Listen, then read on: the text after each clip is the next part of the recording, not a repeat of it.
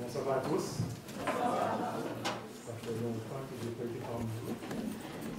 Donc, euh, ma robe était rendue vraiment longue. J'ai dû la couper, je ne vais pas vous effrayer. Donc, euh, j'ai pris soin de. Euh, longtemps qu'on ne s'est pas vu. Donc, je suis extrêmement content d'être parmi vous ce matin. Surtout, j'ai vu euh, euh, Manon qui a repris ses tâches. Ah, vous savez, dans l'église, il n'y a pas de ST, ST sécurité de travail. Dès que vous êtes correct, back to work. La sécurité, c'est quoi? C'est dans les, dans les mains de Dieu. Donc, je suis vraiment content de, euh, de l'avoir à l'heure. On a, on a vraiment prié pour toi. Et euh, vous savez, il y a tellement de joie travailler pour le, pour le Seigneur. Donc, si vous n'avez pas la chance de prendre part à son œuvre, vous manquez quelque chose d'extraordinaire. Alors, vous avez ce, ce- cette semaine et ce mois-ci, j'ai fait beaucoup de réflexions en personnelles. Euh, je ne sais pas si on l'a déjà fait, mais nous devons euh, prier, prendre le temps pour prier pour qu'est-ce qui arrive en France, à Paris, à ces familles qui sont, euh, qui sont, déchirées. Vous savez, lorsqu'on on, écoute CNN particulièrement, il, essaie de vous faire peur. Vous savez, maintenant, il y a eu un- une tentative d'attaque qui a eu à New York, ou une menace d'attaque qui a eu à New York. Euh, ils ont montré la bombe avec laquelle ils ont potentiellement fait tomber l'avion qu'il y a entre, entre l'Égypte et euh, la Russie, whatever. Ça, ce qu'on voit, c'est, la propagande, mais juste pour essayer de, euh, de faire peur aux gens. Et ça fonctionne. Et vous savez, les, journalistes, tombent dans le jeu, puis deux heures de temps pour une vidéo, deux heures de temps de spécial pour montrer une canette avec euh, un affaire pour montrer comment que la bombe a pu se créer. Vous savez, tout ça, c'est pour créer un état de, de peur dans, dans ce monde. Et lorsque vous écoutez les discours des gens, euh, vous voyez que les gens, ils, non seulement ils, sont, ils ont peur, mais ils sont vraiment tannés de tout ça. Ils sont tannés de ces guerres, de ces problèmes qu'il y a dans ce monde. Euh, et qui fait qu'ils rendent de plus en plus difficile maintenant de vouloir prêcher la vérité. Parce que l'erreur et la vérité maintenant sont, sont mélangées. Il devient de plus en plus dur, même pour nous qui croyons que nous pouvons prêcher les, les des trois anges, de ramener les gens à la Bible, de ramener les gens à la valeur des dix commandements. Euh, ça devient des discours euh, haineux. Et on se demande, mais qu'est-ce qu'on fait? Si Après l'événement qui est arrivé avec ma belle-mère, on a, on a passé du, temps à la prière. Et mon but la prière, c'est de demander à Dieu ce que je veux. C'est la même demande que Élisée a demandé à Élie avant de monter. Il demande le double portion de ton, de ton Saint-Esprit afin que je puisse avoir cette force de prêcher l'évangile. Cet évangile d'amour, de paix à ce monde. Mais pendant mon- ma réflexion, Dieu m'a dirigé autrement. Dieu m'a fait sentir que cet esprit t'est disponible. Mais est-ce que la vie que tu vis est propice à recevoir cet esprit? Élie s'était mis à part complètement pour pouvoir prêcher et annoncer et prophétiser. Je sais que mon frère a, a prêché sur Élisée la semaine dernière. On a vu à quel point que Élisée était spécial, était puissant. Mais Élisée s'était mis à part. Et ma réflexion que j'ai faite à moi, c'est que est-ce que ma vie est propice à recevoir le Saint-Esprit? Dieu nous a promis la pluie de l'arrière-saison à l'Église, à la communauté chrétienne, aux gens qui croient en Dieu, aux gens qui veulent prêcher cette dernière nouvelle. Mais ma question, est-ce que, l'Église, cette communauté, vit en conséquence pour leur permettre de recevoir cette pluie de l'arrière-saison. Donc, je vais basically vous faire part de mes réflexions, des textes que j'ai lus. Certains d'entre vous ne vont pas être d'accord.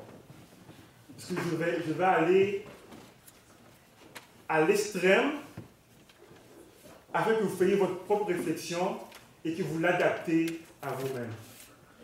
Je pas si ça fait du sens que je dis, mais je veux prêcher qu'est-ce que le texte dit et vous faites votre propre réflexion. Mais l'important, c'est que vous, vous, décidez pour vous-même quelle est la direction de votre, vie? Et j'aimerais lire avec vous, à commencer par 2 Corinthiens 8, 1 à 5. Désolé, 2 Corinthiens 8, aujourd'hui jusqu'au verset 5 pour commencer. Merci de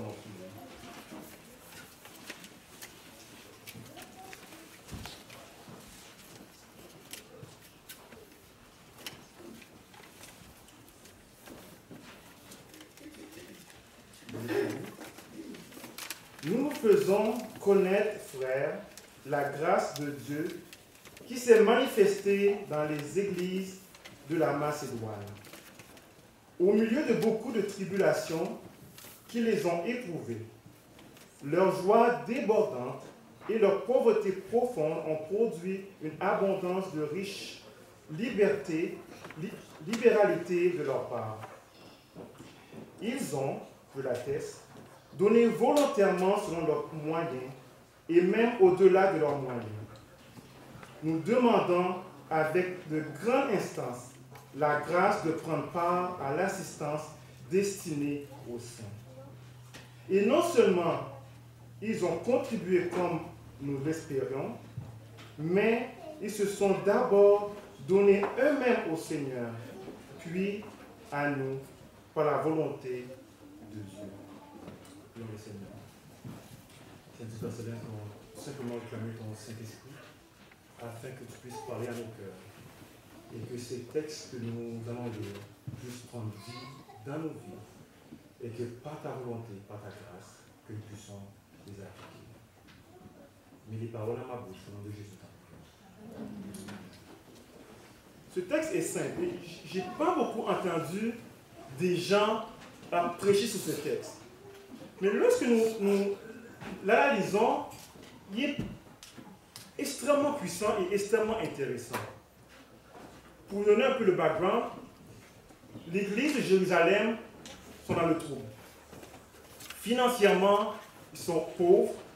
Il y a la famine, il y a, il y a la guerre, la persécution à l'église de Jérusalem.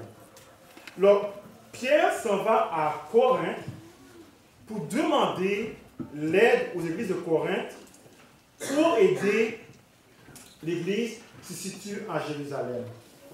Alors, comme exemple, pour les inciter à donner, Paul va prendre l'exemple de ce qui s'est passé dans les églises situées à Macédoine. Mais ce qui est intéressant, c'est que le texte nous dit que la Macédoine était quoi? Eux-mêmes au milieu de tribulations qui les éprouvaient. Et ils étaient quoi? Dans la pauvreté. Alors, Paul va donner un exemple d'un groupe qui se retrouve dans les difficultés, qui subit des tribulations, des épreuves, mais qui disent que il est quoi? Ils sont dans la joie. Comment peut-on être dans la joie lorsque nous sommes au milieu des tribulations? Comment pouvons-nous être dans la joie lorsque nous sommes nous-mêmes pauvres? Et non seulement nous sommes pauvres, mais nous voulons absolument contribuer à un autre groupe qui se trouve dans la même situation que nous. Ils sont dans la joie tout simplement parce que leur joie ne dépend pas de les circonstances dans lesquelles ils sont, mais leur joie est entièrement dans le nom de Jésus-Christ. Leur joie se retrouve dans la connaissance et dans la relation qu'ils ont avec le Seigneur Jésus-Christ. Peu importe la circonstance dans laquelle ils sont, peu importe la pauvreté dans laquelle ils sont, ils sont dans la joie. Parce que l'amour qu'ils ont dans le cœur, cet amour leur vient de Jésus-Christ. Et ça fait beaucoup de sens que lorsqu'on entend les, les, prédicateurs d'aujourd'hui, il semble que ceux qui ont accepté Jésus et qui ont reçu le Saint-Esprit, tout devrait bien aller.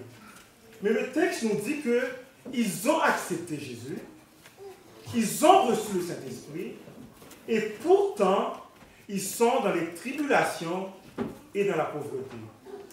Et malgré ça, ils sont dans la joie. Et Paul va ramasser des offrandes pour amener à l'église de Jérusalem. Non seulement ils ont donné, mais Paul a dit qu'ils ont donné au-delà de leur moyen. Ils ont vidé une première poche. Ils ont dit à Paul, attends, attends, attends, attends.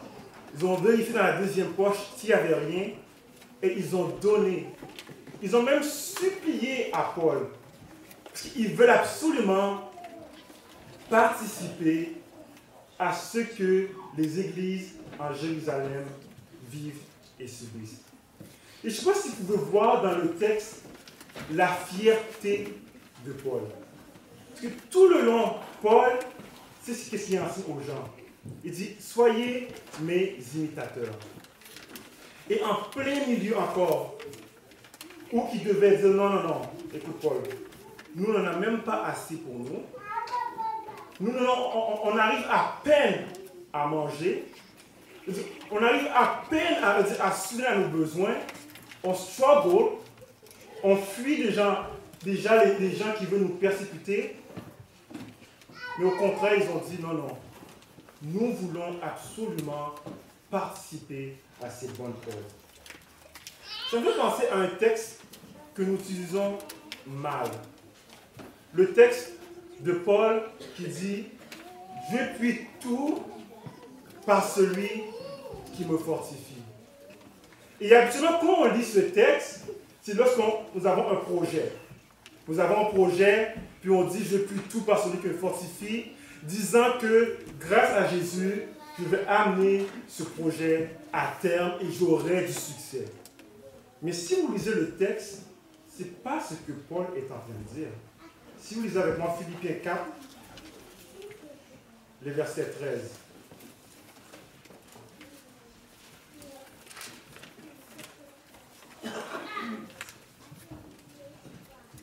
Donc, pour bien comprendre, nous allons lire à partir du verset, du verset 11. Vous allez voir exactement pourquoi Paul dit cela, ceci. Il dit, verset 11, Philippiens 4, verset 11, dit, ce n'est pas en vue de mes besoins que je dis cela, car j'ai appris à être content dans l'état où je me trouve. Vous êtes avec moi? 12. Je sais vivre dans l'humiliation, dans l'humiliation, et je sais vivre dans l'abondance. Et tout et partout, j'ai appris à être rassasié et à avoir faim, à être dans l'abondance et à être dans la disette. Là, maintenant, il dit, je puis tout par celui qui me fortifie. Autrement dit, le texte veut dire, je peux tout supporter par celui me fortifie. Paul dit que ma joie, ma force ne dépend pas des circonstances de ma vie, mais ma force dépend de ma relation que j'ai avec Dieu. Et peu importe que je sois dans la famine ou que je, sois en abondant, que mon ventre gargouille ou bien que je, le, le, je suis rempli, peu importe. Je suis rempli par celui qui me fortifie et celui-là est réellement Jésus-Christ. Êtes-vous rempli par Dieu? Votre joie est-elle relative aux circonstances de votre vie ou votre joie est peu importe les circonstances de votre vie? Le christianisme est plus que je mange, je bois, je dors, je vis. le christianisme est rempli par la présence de Jésus dans sa vie. Et si on, revient euh, au texte, au verset 5, il dit, et non seulement ils ont contribué comme nous l'espérons, mais ils se sont d'abord donnés eux-mêmes au Seigneur. Paul est en train de dire que la raison pour laquelle ils ont été si généreux et que leur joie est si complète dans les tribulations et dans la pauvreté, c'est parce qu'ils sont totalement donnés à Christ. Ils n'avaient rien pour eux. Tout ce qu'ils avaient était en Christ. Leur joie était en Christ. Leur nourriture était en Christ. Et c'est pour ça qu'ils ont pu donner avec abondance. Nous allons lire un acte 20, 35.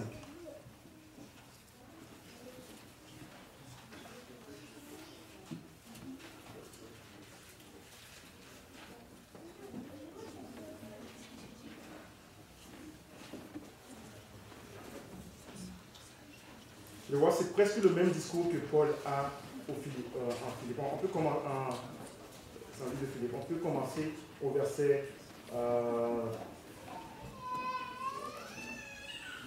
33. Verset 33, acte 20 au verset 33 qui dit Je ne désire ni argent, ni or, ni vêtements de personne. Vous savez vous-même que ces mains ont pourvu à mes besoins et à ceux des personnes qui étaient avec moi. Parce que vous comprenez, Paul est en train de dire que je ne demande rien à personne. Moi, ce que j'ai fait, j'ai travaillé et ce que j'ai reçu de mon travail a été utilisé pour moi et pour tous ceux qui étaient avec moi. Alors, Paul a dit, je ne vous demande rien. Mais qu'est-ce qu'il dit? Il dit, je vous ai montré, verset 35, toute manière, de toute manière, que c'est en travaillant ainsi qu'il faut soutenir qui? Les faibles. Travailler de quelle manière? Travailler pour soi et travailler pour aider les gens qui nous entourent. Et se rappeler les paroles du Seigneur, qui a dit à lui-même, il y a beaucoup plus de bonheur qu'à donner qu'à recevoir. Paul est en train de, changer notre façon de penser. Paul a dit, ce que je demande, c'est que vous prenez soin les uns des autres. Que vous prenez soin des besoins les uns des autres. Paul a dit, je peux donner parce que je sais que celui qui me donne est infini. Je peux partager que celui qui me donne à moi est infini. Donc Paul dit, j'ai ce pouvoir-là de donner même le peu que j'aurai, parce que celui qui me fournit est infini. Maintenant, si vous retournez dans 2 Corinthiens, où on était dans 2 euh, Corinthiens 8, vous allons, lire quelque chose qui vraiment qui, qui m'a troublé. 2 Corinthiens 8, verset 12 à 15. Paul va décrire c'est quoi l'égalité. Et je dois vous dire, je veux le lire, mais j'ai aucune idée comment l'appliquer. Le texte est là, je le lis pour vous. Il dit, la bonne volonté, quand elle existe, est agréable en raison de ce qu'elle peut avoir la disposition et non de ce qu'elle n'a pas. Car il s'agit non de vous exposer la détresse, pour soulager les autres, mais de suivre une règle d'égalité. Ok, mais là, Paul va expliquer c'est quoi la règle d'égalité qui parle. Dans la circonstance présente, votre surplus pourvoira à leurs besoins afin que leur surplus pourvoie pareillement au vôtre en sorte qu'il y ait égalité. Ça fait aucun sens dans le monde qu'on vit. Je travaille, Dieu m'a béni pour avoir un bon travail. Donc ce que j'ai, je le dépense au maximum même un peu plus que je vis sur le crédit de la banque. Il y a la foi d'égalité, non, plus que Dieu me donne, plus que je consomme. C'est pas ça? Regardez bien, il dit, selon qu'il est écrit au verset 15, celui qui a ramassé beaucoup n'a rien de trop, et celui qui avait ramassé peu ne manque pas. Ne me demandez pas, Oudens, comment je vais faire pour appliquer ça dans ma vie. Ce que je vous dis, c'est que ce texte est dans la Bible. Si c'est dans la Bible, ça veut dire qu'il y a quelque chose que nous devons faire en tant que communauté. Parce que lorsque Dieu me bénit, ce n'est pas pour me bénir pour consommer tout ce que j'ai, mais ça fait de regarder autour de moi et voir qui a besoin, avec eux aussi, qui pourraient être dans le manque, puissent recevoir de moi que Dieu a tant béni. Nous allons voir plus loin que Dieu va punir ceux qui ont été bénis et qui ont reçu et qui ne partagent pas. Là, nous allons voir un peu, ça c'est un texte que vous connaissez dans Acte, euh, euh, je lis Acte 2, 44 à, 47. Acte 2.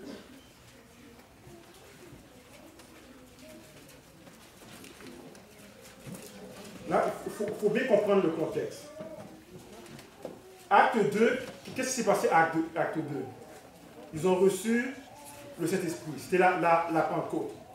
Donc les apôtres sont mis ensemble, ils ont prié, ils ont intercédé, et l'Esprit que Dieu avait promis est descendu sur eux. Il y a eu des miracles, des prodiges, et les gens autour de eux, ils comprenaient ce que Pierre disait dans leur propre langue. Ils étaient étonnés. Il dit qu'il y a eu beaucoup de, de conversions. Mais à, la suite de ça, il y a eu beaucoup de miracles, beaucoup de prodiges, mais ils sont toujours restés ensemble. Alors, ce que je veux vous voyez dans votre texte, c'est qu'un groupe de personnes, environ 3000, qui sont, mis en communauté et qui sont ensemble. Je pense que vous êtes capable de le voir. Là, au verset de 44, il dit ceci. Tous ceux qui croyaient étaient dans le même lieu et ils avaient tous en commun. Ils vendaient leurs propriétés et leurs biens et ils partageaient leurs leurs produits entre, entre tous, selon les besoins de chacun. Ils étaient chaque jour tous ensemble, assidus au temple. Ils rompaient le pain dans, les maisons et, prenaient leur nourriture avec joie et avec simplicité de cœur. Est-ce que vous voyez cette, cette communauté qui est ensemble, qui mange ensemble, qui partage leurs biens, qui prie ensemble et qui fait des, des prodiges et des miracles. Vous le voyez? Là maintenant, tournez au, euh, chapitre 4.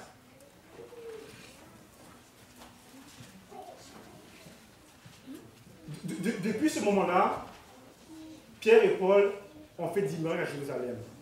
Si bien qu'ils ont fait un miracle et puis les, les, les Sanhédrin a, voulu les chasser. Ils ont pris, ils, ils ont mis en prison. La communauté était tellement grande qu'ils ont commencé à protester qu'ils n'avaient pas le choix de mettre Pierre et Jean dehors. Mais malgré cela, il y a eu des menaces.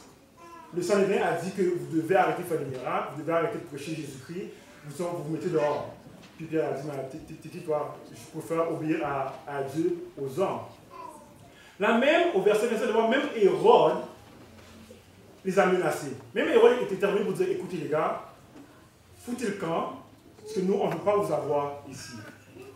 Là, au, verset 29, vous, voyez encore cette communauté ensemble. C'est 3 4 000 personnes qui sont, qui sont ensemble, qui se soutiennent ensemble. Là, lisons au verset 29. Là, c'est Pierre qui parle. Il dit, et maintenant, Seigneur, vois leurs menaces et donne à tes serviteurs d'annoncer la parole avec une pleine assurance. En étant ta main pour qu'il se fasse des guérisons, des miracles des prodiges par le nom de ton serviteur Jésus. Vous voyez? Là, ils, sont, tous ensemble. Là, ils sont, en train de, de prier. Pas vrai? Vous le voyez? Là, maintenant, au verset 31, c'est intéressant. Et quand ils eurent prié, le lieu où ils étaient assemblés trembla. Ils furent tous remplis du Saint-Esprit. Ils annonçaient les paroles que Dieu avait assurance. Donc, moi, je demandais à Dieu le pouvoir, l'option de son Saint-Esprit. Et Dieu m'a dit, mais il est disponible. Il est disponible, il est disponible à toute l'Église. Mais il faut que l'Église change sa façon de penser. Il faut que la communauté que moi j'ai appelée, que mes enfants à moi, changent leur façon de penser et leur façon de vivre. Vous savez, la multitude de ceux qui avaient cru n'était qu'un cœur et qu'une âme. Nul ne disait que ces biens lui appartinssent en propre, mais tous en commun entre eux. Et lorsque nous, lisons Actes, nous voyons que Dieu va faire des miracles parmi ces gens. Dieu va faire des prodiges parmi ces gens. Parce qu'ils étaient ensemble, ils se supportaient les uns les autres, ils s'aimaient. Lorsque un tombait, les autres le relevaient. Lorsque un avait dans le besoin, c'était toute la, congrégation, la communauté qui était impliquée. Alors, d'où leur vient cette puissance et d'où leur vient cette force? Jean 13, verset 34 à 35.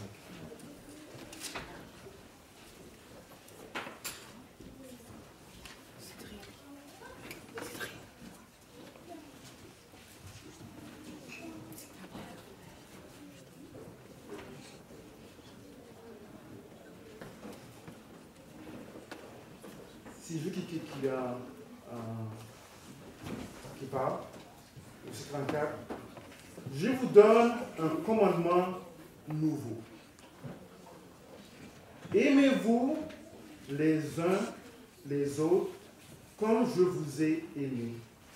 Vous aussi, aimez-vous les uns les autres. Alors, verset 35, c'est intéressant, verset 35. Il dit, c'est quoi? C'est à ceux-ci que tous connaîtront que vous êtes mes disciples si vous avez de l'amour les uns pour les autres. La prophétie est extrêmement importante et nous devons l'enseigner. Mais ce n'est pas elle qui va faire que, les gens vont reconnaître que nous sommes les disciples de Dieu. Les doctrines de l'Église adventiste sont extrêmement importantes et doivent être enseignées. Mais ce n'est pas ceci, cela qui va faire qu'on va reconnaître que ces gens-là viennent de Dieu. Le message des trois anges doit être enseigné. Il doit être expliqué. Mais ce n'est pas à ceci qu'on va reconnaître que ces gens-ci sont les peuples de Dieu. La Bible est claire on va reconnaître que vous venez de moi, que vous êtes mes disciples, que vous êtes chrétiens, si vous aimez les uns les autres. Je ne sais pas si, si vous comprenez l'impact derrière les paroles de Jésus-Christ. Donc, soit c'est moi qui, qui parle ou bien Dieu nous, appelle à vivre une vie complètement différente de ce que nous vivons maintenant. Ok, j'ai deux histoires à vous faire lire. Après, j'ai quelques autres passages à vous, à vous, à vous, à vous, à partager avec vous. Parce que je sais qu'il y a des gens qui n'aiment pas ça quand il y a trop de textes. Alors, j'essaie de vous encourager. On, est presque à la fin. Il y a deux deux textes que je vous faire lire. Après ça, nous allons. Ça, j'approche. Mais vous comprenez l'idée derrière le message que je vous amène aujourd'hui. OK? Alors, qu'est-ce que de faire Parce qu'il y a beaucoup d'histoires à prendre. J'ai commencé à, à Galate jusqu'à euh, euh Il y a tellement d'histoires que Dieu parle d'une nouvelle communauté qui se tient ensemble, de l'amour. Mais je voulais prendre des histoires que, en tout cas, moi, je ne suis pas habitué. Philippe 2, les versets 25 à 30.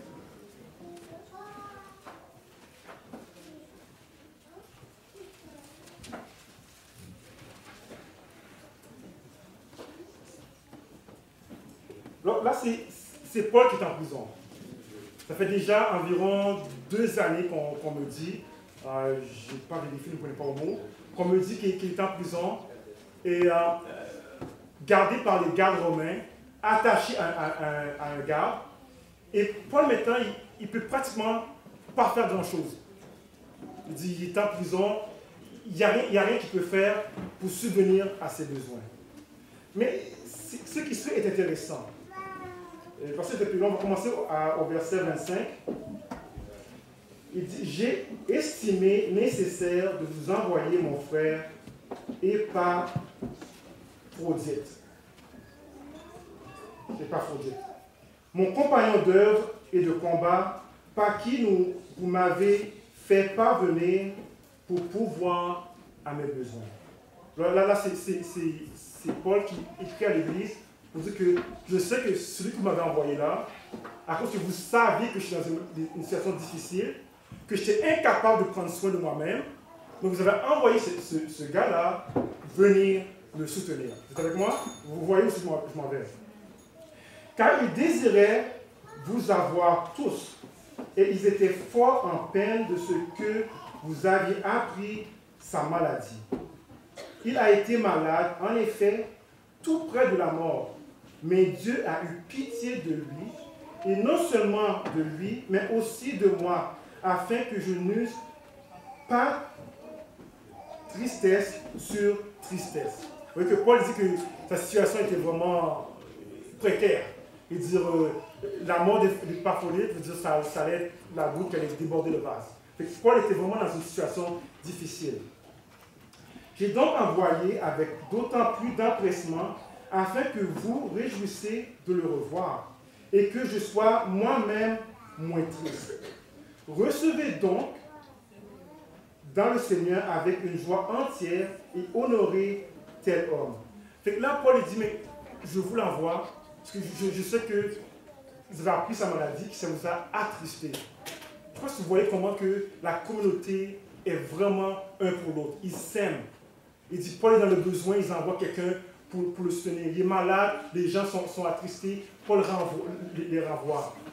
Mais le verset 30 est intéressant parce qu'il nous explique réellement d'où vient la puissance ou l'envouement de cette Église. Il dit, car c'est pour l'œuvre de Christ qu'il a été près de la mort, ayant exposé sa vie afin de suppléer en votre absence dans le service que vous me rendiez. Mais il dit que le gars a failli mourir parce qu'il voulait supporter un frère. Il a mis sa vie en danger parce qu'il voulait absolument supporter Paul qui était dans une situation difficile. Vous voyez où je m'en vais? C'est vraiment important que on commence à réfléchir autrement. Surtout ceux qui pensent que nous vivons dans les derniers moments de la vie, de cette, terre, que nous devons commencer à réfléchir, à vivre une vie comme Christ nous demande de vivre. Dernière histoire, Hébreu 10. Euh, bon, c'est pas une histoire, c'est plus un, On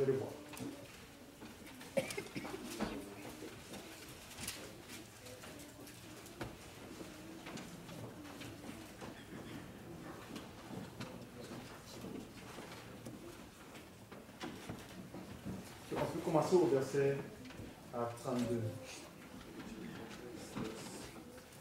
Verset Hébreu 10, verset 32. Et puis nous allons lire jusqu'à la fin. Verset 10, 32. Hébreu 10, vous l'avez?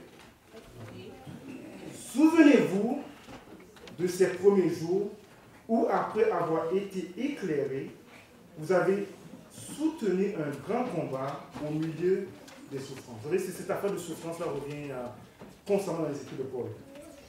D'une part, exposé comme spectacle aux opprobles et aux tribulations et de l'autre. D'une part, exposé comme un, spectacle aux opprobles et aux tribulations et d'autres. Vous associant à ceux dont la possibilité était, la position était la même.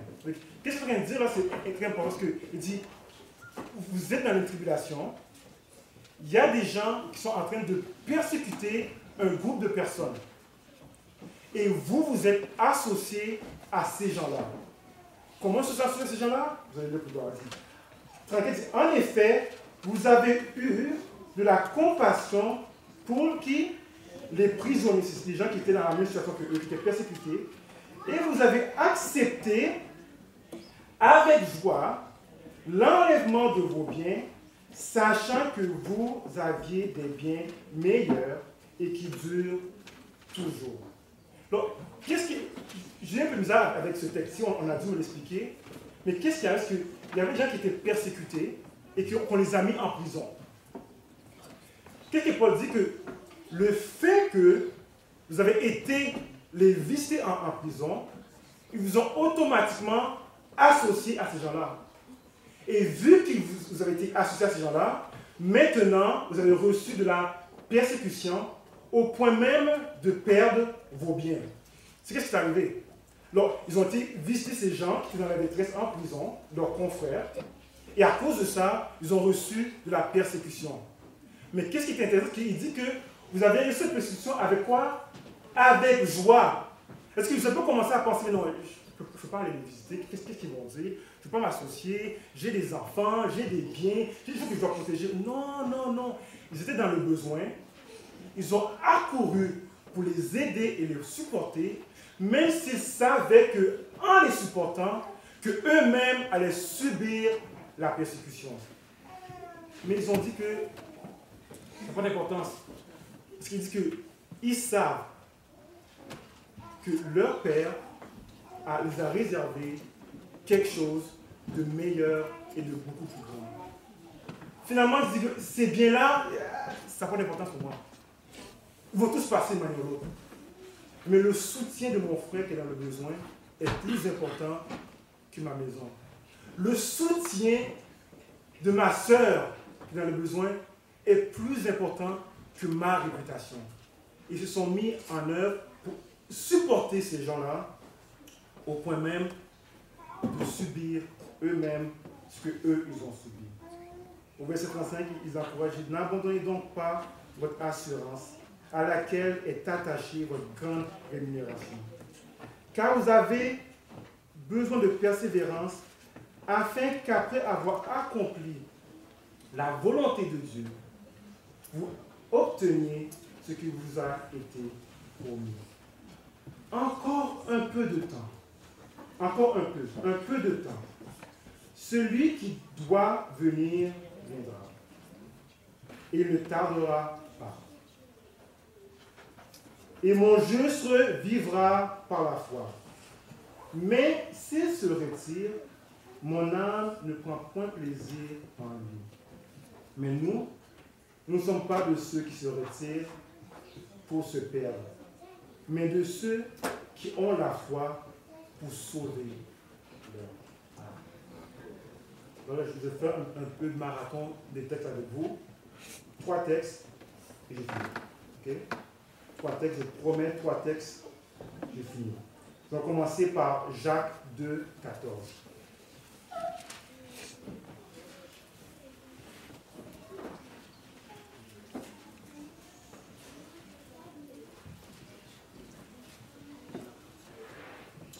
verset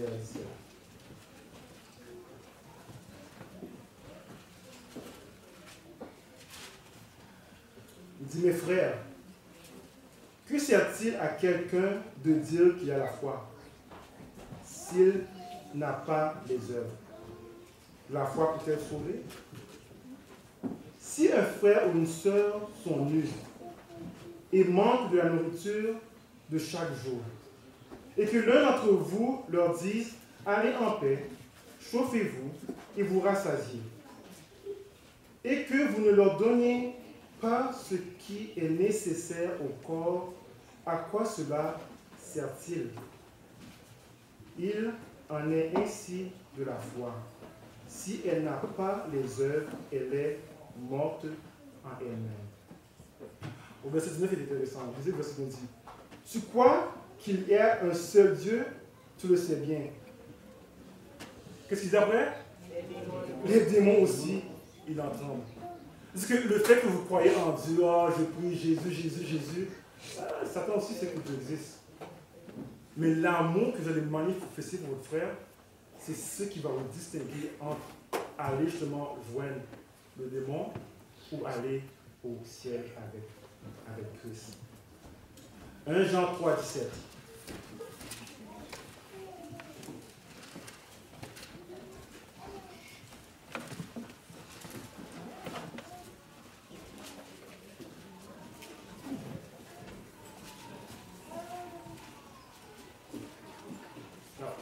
Warning, ce texte est un petit peu tough. 3.17, je disais, si quelqu'un possède des biens du monde et que voyant son frère dans le besoin, il lui ferme ses entrailles, comment l'amour de Dieu demeure-t-il en lui? Ça c'est direct. C'est pas Williams qui le dit, la Bible c'est direct. Petits enfants, n'aimons pas en parole et avec la langue, mais en action et en vérité. Par là, nous connaîtrons que tous, que nous sommes de la vérité et nous rassurons nos cœurs devant lui. En nous aimant les uns les autres, nous nous assurons que nous sommes dans la vérité et que nous demeurons en lui. Alors pour conclure, c'est un texte que vous connaissez Très bien. Matthieu 25.